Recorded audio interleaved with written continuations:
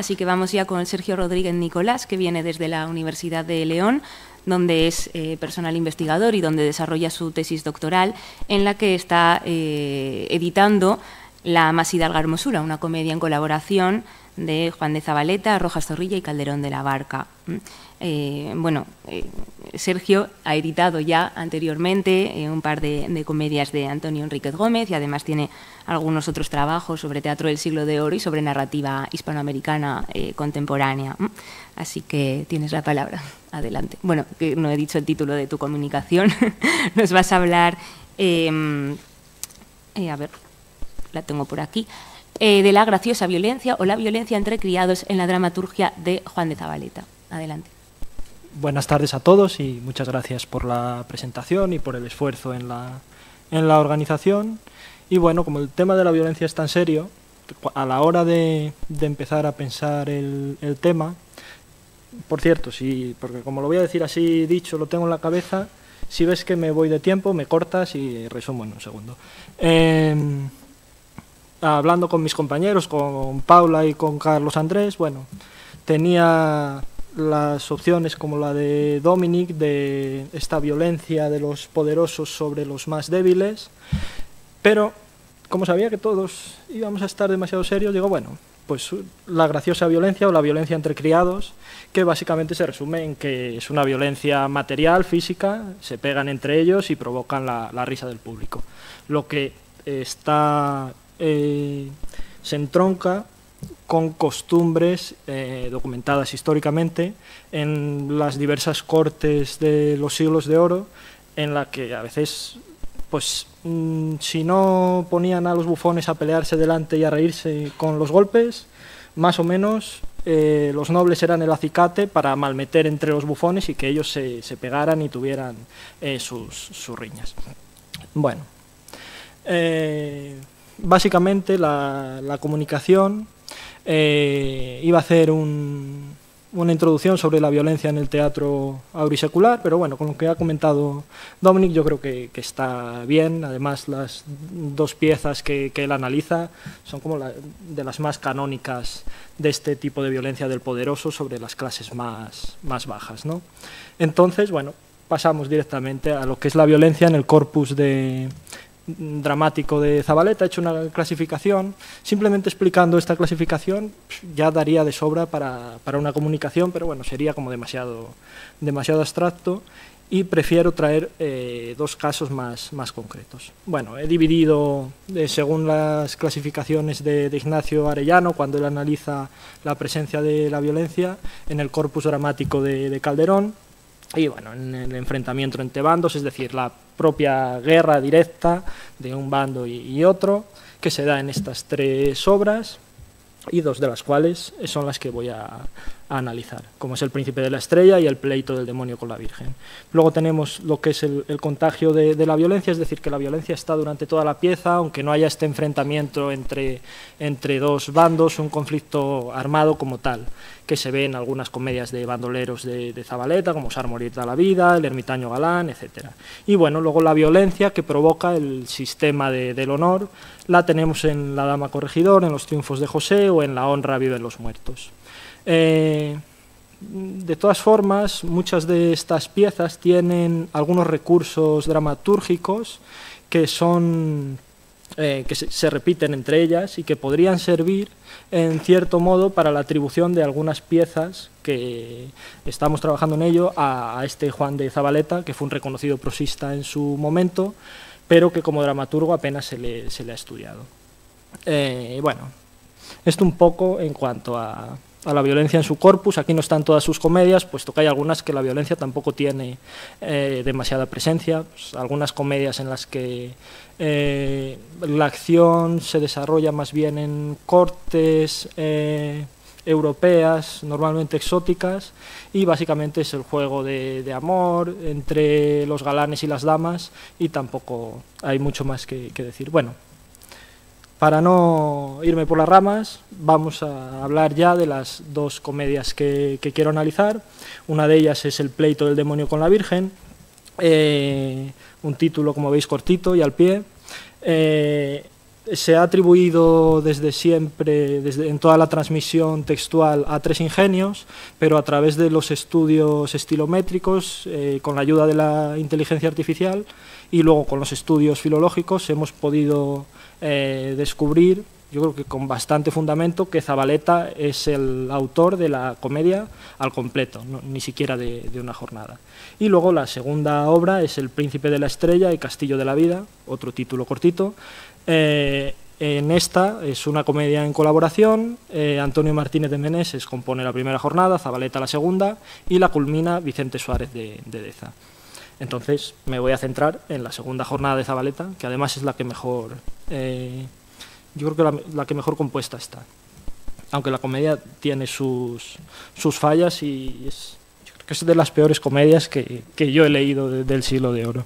Pero bueno, aún así hay cosas que, que rescatar. Yendo ya a ejemplos eh, concretos. La violencia en El Príncipe de la Estrella. Traigo un, pequeño fragmento, no me voy a detener en leerlo porque tampoco tengo mucho tiempo.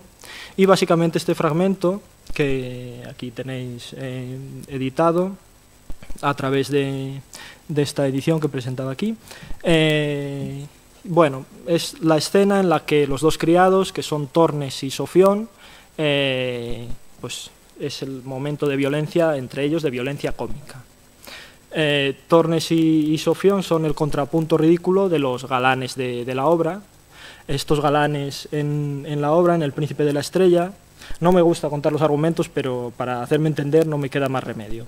Eh, básicamente la obra trata de una confederación de diferentes príncipes que van en busca de una princesa, que remeda pues, eh, la liga de los griegos para ir en busca de Helena de Troya. Y, bueno, estos príncipes van en busca de la princesa Felisalba, que ha sido raptada, y de repente se encuentran con que Felisalba eh, está recluida en un castillo, y el castillo está defendido por un cíclope enorme con poderes mágicos que se llama Brillafronte. Eh, y dramatiza pues, el conflicto de los dos bandos, ¿no? la recuperación de la princesa. Mm, es bastante ridícula toda la pieza, es eh, del género de las comedias caballerescas, pero ya es un género bastante agotado y entonces todo el rato se ve como una mirada irónica de los eh, dramaturgos hacia su propia, su propia obra. Bueno, en la segunda jornada, cuando ya se ha visto que se van a, enfrentar los dos bandos, entra Zabaleta a escribir su, parte de, de la comedia. Y eh, Zabaleta decide que los dos criados sean la avanzadilla de los nobles que, están intentando entrar en el castillo. Pero claro, ellos no quieren entrar al castillo para liberar a la princesa, porque la verdad que eh, valerosos y con eh, grandes ambiciones, estos criados no son, vamos, y ninguno de, los criados del siglo de oro. Ellos lo que quieren es gozar de dos criadas que están dentro del castillo. Entonces hay una maga en el bando que está buscando a la princesa Felisalba y le piden ayuda a esta maga. Y le dicen, bueno, queremos entrar para gozar de, las dos eh, criadas y entonces esta maga le da a Tornes eh, una sortija que lo vuelve invisible y así entra al castillo y a Sofión dice que lo va a convertir en Milano, es decir, en, un águila similar, en un gavilán más bien. Eh, pero en el momento en el que la maga eh, le da el anillo a Tornes, dice voy a preparar el conjuro para el otro, para Sofión. Y Tornes lo primero que hace es, primero piensa en comer, dice oh, ahora cuando utilice el anillo y me vuelvo invisible voy a comer lo que me dé la gana.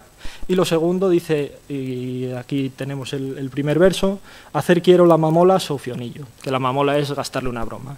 La broma es volverse invisible y pegar una bofetada. ¿Cómo responde Sofión?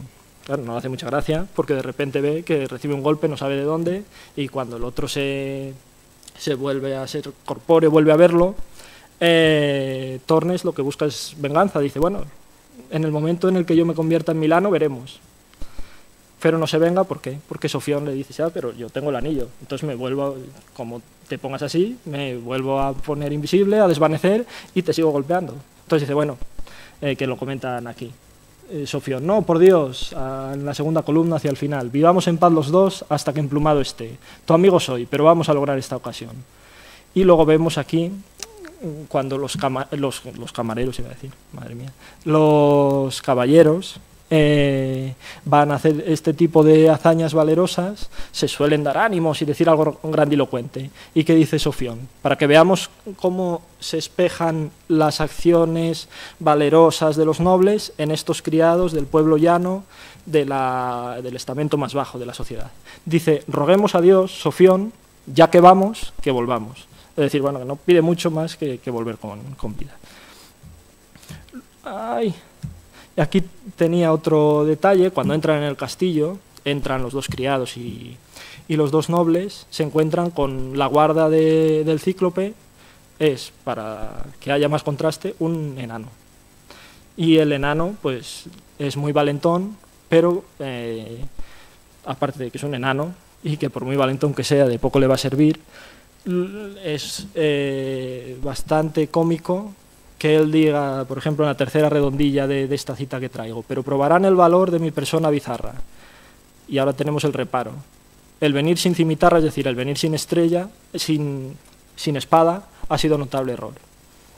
Tenemos estas eh, eh, situaciones ridículas en las que el que va a defender el castillo se le olvida la espada, además es un enano, bueno. Otro ejemplo de violencia ridícula en el príncipe de la estrella. Y ahora voy a pasar al pleito del demonio con la Virgen.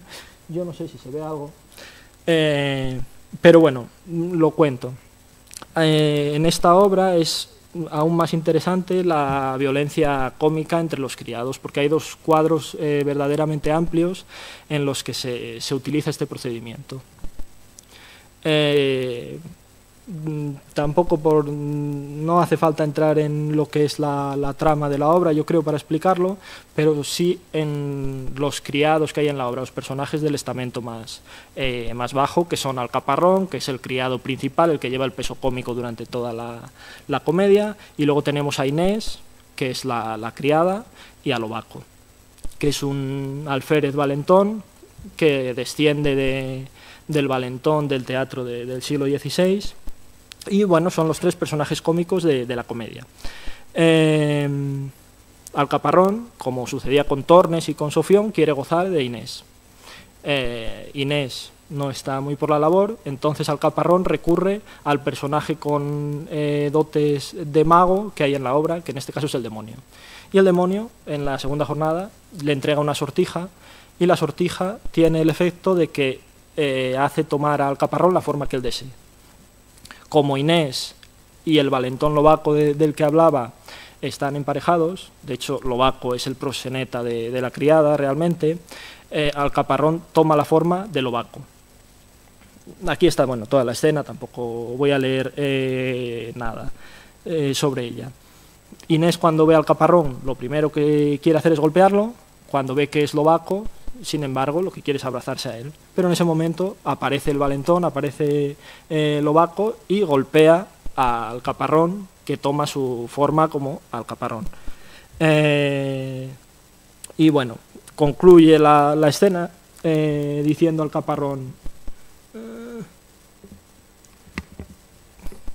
concluye diciendo, señores, hay tal sortija, más que quieren apostarme que si la voy a vender no me dan la tercia parte. Es decir, todos los golpes que ha recibido no le pagarán nada por el anillo que ha recibido el demonio. Más tarde, en la tercera jornada, eh, Alcaparrón ya no tiene deseo de gozar a Inés, lo que quiere es vengarse de los golpes que, ha recibido, entonces vuelve a acudir al demonio. Y el demonio lo que le da es un anillo que lo invisibiliza, como sucedía antes con Tornes. Eh, y hace lo mismo, él se vuelve invisible, y coge y empieza a pegar tanto a Lobaco como a Inés, a discreción, eh, sin ningún freno.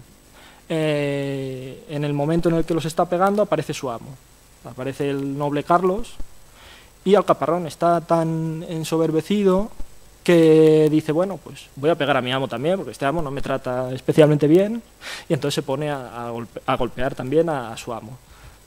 Pero la sortija, como se le ha dado el demonio, tiene un reparo, y el reparo es que si menciona a Dios, se quita su efecto. Cuando les está pegando, está tan contento que dice, Jesús, qué bien le di. Y lo ven. Y entonces el amo, que se ve deshonrado por su criado, lo manda a que lo ahorquen. Pero bueno, luego por, porque Alcaparrón aprovecha que su amo es devoto de la Inmaculada Concepción y ruega por ella, eh, se acaba salvando de ser ahorcado. Y básicamente tenemos eh, toda esta violencia que la tenemos en las dos eh, piezas durante bastante espacio, pero que no es una violencia mm, negativa, por así decirlo. La violencia simplemente sí que es física, pero lo que busca es provocar la risa y con situaciones muy, muy ridículas. Y espero, porque tiene su aquel eh, empezar a explicar las tramas y, cómo se comportan los diferentes criados, que más o menos haya entendido algo. Si me da tiempo leo las conclusiones, si no me vale. como Vale. Pues leo para no irme por las ramas. Eh,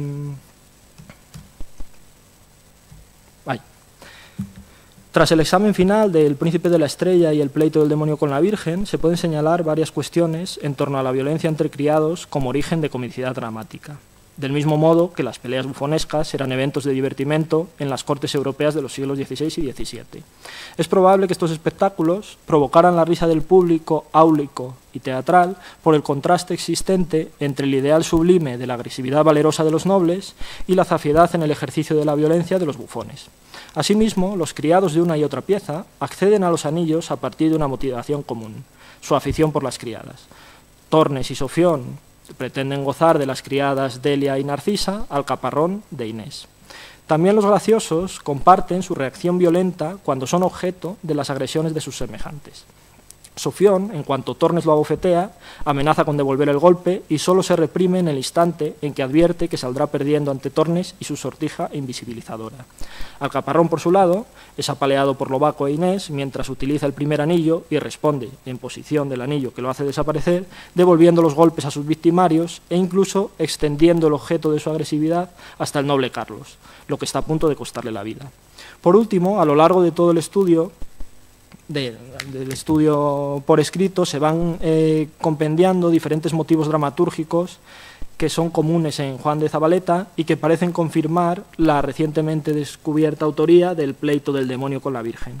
En lo que concierne a la violencia cómica, es interesante comprobar cómo Zabaleta asocia la utilización de la magia por parte de los criados con los golpes y la posterior revancha de las víctimas. Eh, bueno, tampoco voy a entrar en lo que sucede, ya lo he explicado. En resumen, El Príncipe de la Estrella y El Pleito del Demonio con la Virgen presentan interesantes usos de la violencia en la esfera de lo risible, aunando con procedimientos asociados a la magia, procedimientos comunes en ambas piezas, la risa y la violencia, dos realidades que a primera vista parecerían muy distantes, pero que el reconocido prosista, autor de los días de fiesta, consigue combinar en su teatro con el propósito de arrancar la carcajada del público. Muchas gracias.